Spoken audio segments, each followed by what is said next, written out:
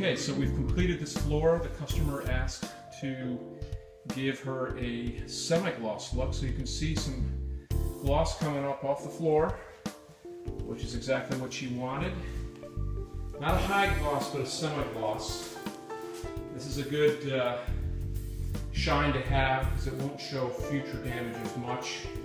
And it's also not quite as slippery as uh, a high gloss shine. But uh, we had to do this today and everything came out great.